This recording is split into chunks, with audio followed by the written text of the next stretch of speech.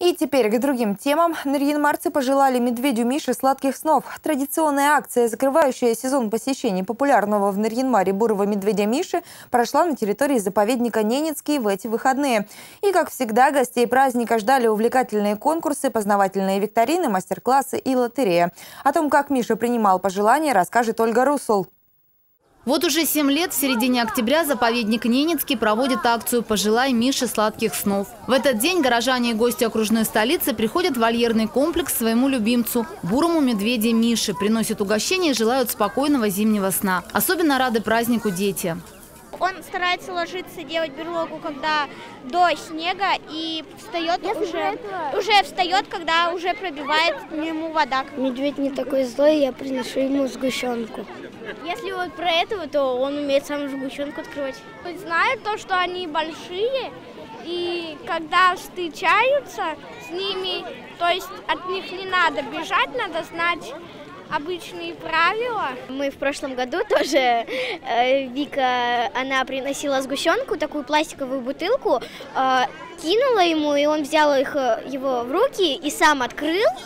В этом году праздник отличается большим количеством творческих мастерских. Пожалуй, самая востребованная из них – роспись экологической сумки. Интерактивные стенды, экологическая тропа «Медвежий переулок» – здесь каждый найдет для себя занятие. Увлекательное для взрослых и детей мероприятие организовано заповедником Ненецкий на средства гранта конкурса социальных и культурных проектов компании «Лукойл». Благодаря этим средствам праздник прошел на ура.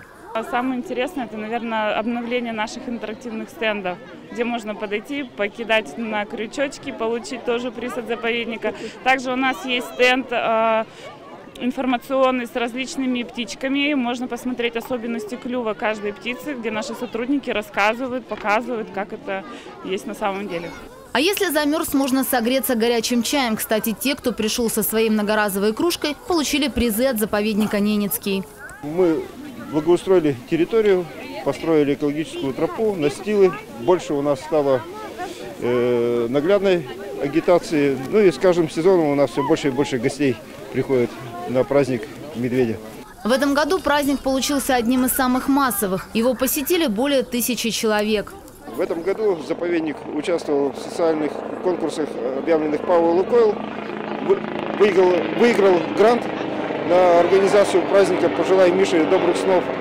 И, в принципе, за счет э, средств Павла Лукойл были организованы различные конкурсы, закуплена сувенирная, наглядная э, продукция для этого праздника. Ну, в принципе, надеемся, что сотрудничество с Лукойлом у нас продолжится. Кульминация праздника – закладка елового лапника и сена в берлогу. Это свежая постель для Миши. Жира за лето он нагулял достаточно, чтобы спать всю зиму. Конечно, сейчас медведь Миша спать не ляжет, это произойдет немного позже. Но с сегодняшнего дня начнется подготовка к длительному зимнему сну.